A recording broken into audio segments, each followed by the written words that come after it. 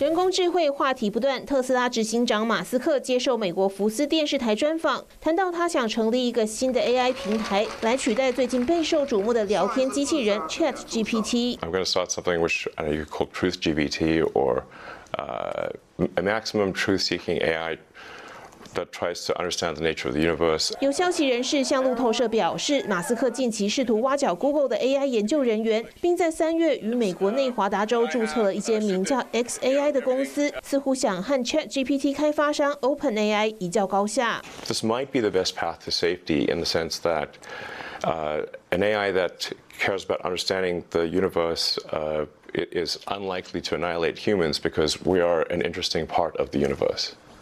Uh, hopefully. 不过，OpenAI 其实是由马斯克在2015年和现任 OpenAI 执行长阿特曼等人共同创办。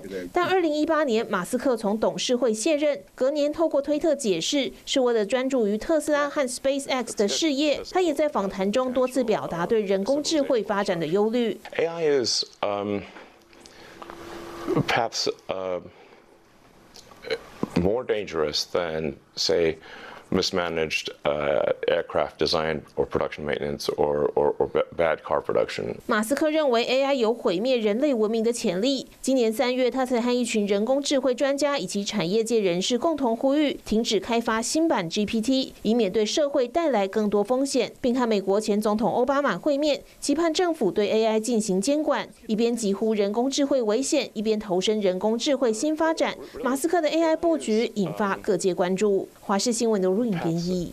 有事没事赶紧转开华视，还没有订阅华视的 YouTube 频道吗？赶紧按赞订阅，开启小铃铛。我们华视 YouTube 见。